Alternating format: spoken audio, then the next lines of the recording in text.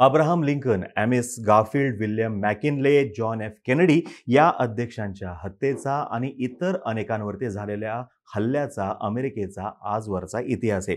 याच इतिहासाची पुनरावृत्ती होता होता राहिली कारण अमेरिकेचे माजी अध्यक्ष डोनाल्ड ट्रम्प यांच्यावरती दोन दिवसांपूर्वी झालेला हल्ला. अमेरिकेच्या अध्यक्षपदासाठीचा निवडणुकीचा प्रचार जो आहे तो अगदी शिगेला पोहोचलेला आहे. पेनिन्स्लाविया प्रांतात बटलर पार्क येथील प्रचार सभेमध्ये ट्रम्प भाषण करत असताना अचानक एका तरुणाने त्यांच्यावरती गोळ्या झाडल्या आणि त्याच्यापैकी एक गोळी ट्रम्प यांच्या कानाला चाटून गेली. या हल्ल्यामध्ये ट्रम्प थोडक्यात बचावलेले आहेत. आता या हल्ल्यानंतर ट्रम्प यांचं आज जे काही पहिलं भाषण झालं त्यात ते म्हणालेत की आता मी संपूर्ण देशाला एकत्र आणणार आहे. या हल्ल्यानंतर निवडणुकीचं वातावरण पूर्णपणे ट्रम्प यांच्या बाजूला फिरेल असं मानणारा एक गट आहे आणि ते तसं फिरणार नाही असं मानणारा सुद्धा एक गट आहे. ट्रम्प यांनी स्वतःचा हा हल्ला घडवून आणला असं सुद्धा म्हणलं जाते ज्याच्यामुळे ट्रम्प यांची निवडणुकीसाठीची वाट अजून कठीण होऊ शकते. आज आपण सविस्तरमध्ये जाणून घेऊयात की ट्रम्प यांच्यावरती हल्ला जो झाला तो त्यांचाच प्लॅन होता असं का म्हणलं जाते? सिक्रेट सर्व्हिसवरती सुद्धा प्रश्न उपस्थित केले जात आहेत ते बघूया. आणि या अगोदर अमेरिकेच्या अध्यक्षांवरती केलेले हल्ले जे आहेत ते सुद्धा जाणून घेऊयात. नमस्कार मी अरुणराज जाधव बोल व्हिडिओवरती तुम्हा सर्वांचं अगदी मनापासून स्वागत करतो. हल्ला केलेल्या व्यक्तीचं नाव आहे थॉमस मॅथुक्रुक्स या वीस वर्षीय तरुणानं ट्रम्प यांच्यावरती गोळ्या झाडल्या होत्या. गोळीबारानंतर काही सेकंदातच सुरक्षा रक्षकांनी त्या युवकाचा खात्मा केलेला आहे. त्याच्यामुळं हल्ल्यामागं नेमका काय हेतू होता हे आता कधीच उघड होणार नाहीये आणि हेच एका पद्धतीचं गूढ आहे. ट्रम्प यांच्यावरील प्राणघातक हल्ल्यामुळं अध्यक्ष जो बायडन व त्यांच्या डेमोक्रॅटिक पक्षापुढील आव्हान अधिक अवघड बनलेलं आहे असं मानलं जाते आता या हल्ल्यातून बचावल्यानंतर रक्तबंबाळ ट्रम्प यांनी ज्या हिमतीने यासोबतच त्वेषाने हात उंचावून समर्थकांपुढे लढण्याचा आत्मविश्वास दाखवला ते पाहता त्यांच्याबद्दल मतदारांमध्ये सहानुभूती वाढण्याची सुद्धा शक्यता आहे. पण पण हा शब्द फार महत्त्वाचा आहे कारण की अमेरिकेमध्ये सोशल मीडियामध्ये या हल्ल्यासंदर्भात स्टेज्ड हा जो वर्ड आहे तो जास्त व्हायरल झालेला दिसून येते म्हणजे काय? हा एकूण हल्ला जो आहे हा बनाव असल्याचं म्हटलं जाते आता इथं असं म्हटलेलं आहे की the word stage become a trend on social media in the country within minutes of the attack This word has become synonymous with extreme conspiracy theories across social media platforms having frequently used the question veracity of an attack or shooting. आता veracity म्हणजे काय? Authenticity. त्याच्यामध्ये सत्यता किती आहे? ही जी काही shooting झाली हा जो काही हल्ला झाला याच्यामध्ये सत्यता किती आहे? असा प्रश्न सोशल मीडियावरती विचारला जातोय. आता हे प्रश्न का उपस्थित केले जात आहेत? हेही समजून घेणं गरजेचं आहे. डोनाल्ड ट्रम्प हे आजच्या दिवशी अमेरिकेमध्ये कितीही पॉप्युलर नेते असले तरी सुद्धा ते तितकेच वादग्रस्त नेते आहेत. अमेरिकन काँग्रेसने दोन वेळा महाभियोग प्रस्ताव मंजूर केलेले ते एकमेव अमेरिकेचे अध्यक्ष आहेत. त्यासोबतच दुसरा जो महाभियोग होता तो तर दोन हजार वीसची निवडणूक हरल्यानंतर त्यांच्या चिथावणीवरून त्यांच्या समर्थकांनी थेट काँग्रेसवरती जो हल्ला केला होता त्याच्याबद्दल होता. कॅपिटॉल हिलवर हल्ला करून अध्यक्षपद बळकावण्याचा त्यांनी तेव्हा प्रयत्न केलेला होता.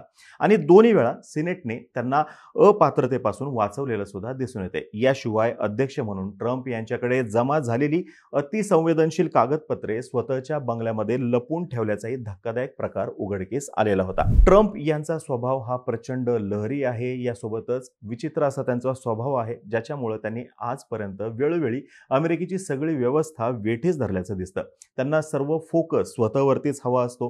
स्वतःचा रिपब्लिकन पक्ष सुद्धा त्यांनी जवळपास बळकवलेला आहे. थोडक्यात काय? अत्यंत पोहोचलेलं राजकीय व्यक्तिमत्व राजकीय नेते अशी त्यांची प्रतिमा अमेरिकेत सुद्धा आहे आणि जगभर सुद्धा त्यांची हीच प्रतिमा आहे. आणि त्यामुळेच कालचा हल्ला प्रत्यक्षात त्यांनीच घडवून आणलेला स्टंट असावा अशी चर्चा होताना दिसते गुप्तचर आणि सुरक्षा यंत्रणांचं अपयश मात्र या हल्ल्यामुळं संपूर्ण जगासमोर आल्याचं सुद्धा दिसून येत आहे आता एक वर्ग असा आहे ज्यांना या घटनेमुळं ट्रम्प यांच्याबद्दल सहानुभूती वाटू शकते तर दुसऱ्या बाजूला हा सर्व दिखावा आहे असं मानणारा सुद्धा वर्ग आहे.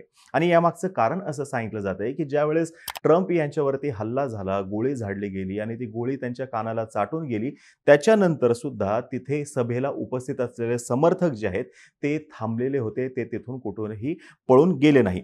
गोळीबार करणारा तरुण जो होता तो इमारतीच्या छतावर चढत होता. योग्य जागा शोधण्यासाठी तो एका छतावरून दुसऱ्या छतावरती जात होता. तरी सुद्धा तो सुरक्षा यंत्रणांना कसा काय दिसला नाही आणि गोळी झाडल्यानंतर मात्र अगदी काही सेकंदामध्ये त्याचा खात्मा केला गेला. या सर्व गोष्टींवरती प्रश्न उपस्थित केले जातात एक महत्त्वाचं ट्विट अमेरिकेमध्ये व्हायरल झालं होतं.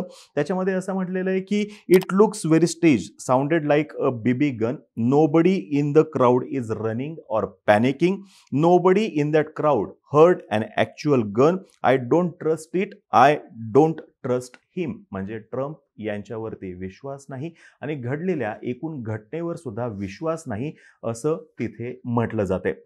यासोबतच अजून एक महत्त्वाचा विषय. ट्रम्प यांना ज्यावेळेस गोळी लागली गोळी लागल्यानंतर रक्त येताना दिसतंय आपल्या सगळ्यांना आणि तरीसुद्धा ज्यावेळेस सुरक्षा रक्षकांनी त्यांच्याभोवती गराडा घातला तरी त्यांनी हात वर उंचावलेला दिसून येतोय. त्यांच्या चेहऱ्यावरती रक्त आहे कानावरती रक्त आहे आणि त्यांनी हात उंचावल्यानंतर सुद्धा अगदी इतका व्यवस्थितपणे फोटो काढलेला आहे की मागच्या बाजूला अमेरिकेचा जो झेंडा आहे तो दिसतोय. The image was just too damn perfect असं या संदर्भात म्हटलं गेलेलं आहे. म्हणजे हे सर्व काही स्क्रिप्टेड होतं असाच याचा सूर दिसतोय.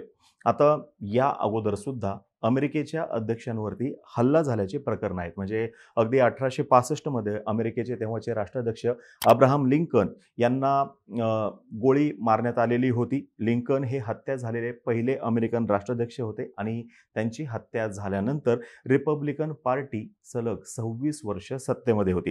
एकोणीसशे एक्क्याऐंशीमध्ये अध्यक्ष झाल्यानंतर एकोणसत्तर दिवसांनी रेगन यांच्यावरती सुद्धा गोळ्या झाडण्यात आलेल्या होत्या. रेगन यांच्यावरतील हल्ल्यानंतर रिपब्लिकन पक्षाने सलग दोन राष्ट्राध्यक्षपदाच्या निवडणुका जिंकलेल्या होत्या. आता ट्रम्प यांच्यावरती हल्ला झाल्यानंतर शंका जरी घेतल्या जात असल्या तरी सुद्धा जॉन केनडी यांची हत्या झाल्यानंतर सुद्धा अशाच पद्धतीच्या शंका घेतल्या गेल्या होत्या. आणि त्यावेळेस तर म्हणजे ज्यावेळेस केनडी यांच्यावरती हल्ला झाला होता त्याच्यामध्ये त्यांचा मृत्यूसुद्धा झालेला होता. त्याच्यामध्ये सी आय संशयाची सुई जी आहे ती गेलेली दिसून येते. आता ट्रम्प यांचा हल्ला त्यांनीच घडून आणलाय असं म्हणलं जाते तर केनेडी यांच्या वेळेस सी आय एवरती संशय व्यक्त केला गेला होता.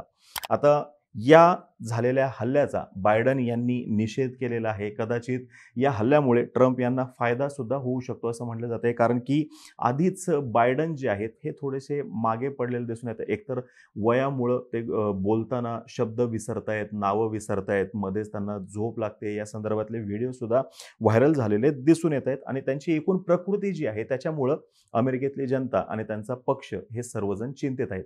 वेळोवेळी त्यांची कॉग्नेटिव्ह टेस्ट करण्याची मागणी करण्यात आली आलेली आणि तरी सुद्धा त्याने त्याला नकार दिल्याचं दिसून येते आता बायडन यांच्याऐवजी उपराष्ट्रपती कमला हॅरिस यांनी निवडणूक लढवावी असं म्हटलं जात होतं तरी सुद्धा बायडन हे पुन्हा एकदा निवडणूक लढवण्यावरती ठाम आहे ते त्यांचा हट्ट सोडायला तयार नाहीत.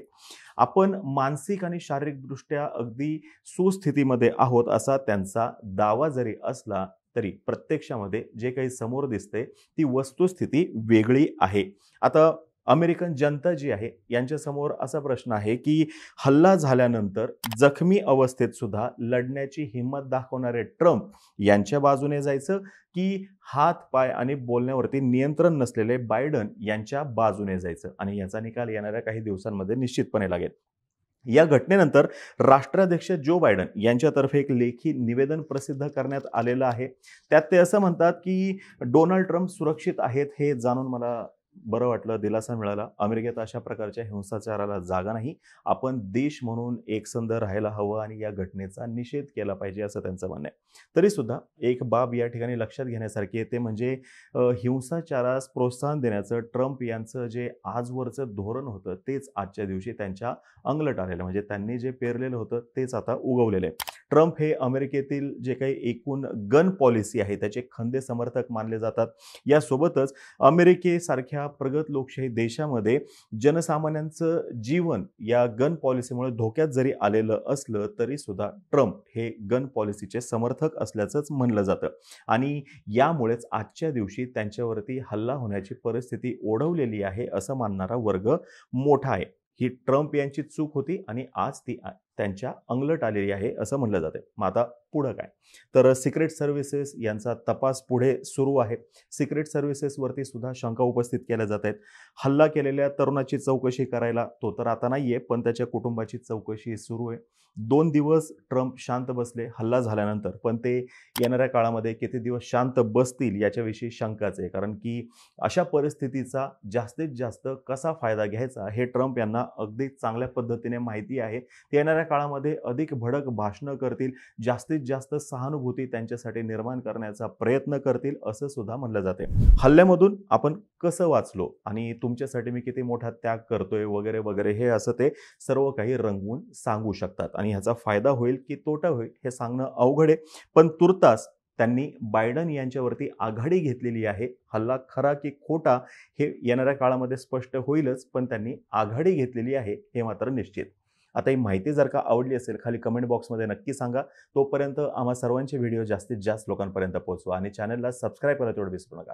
धन्यवाद.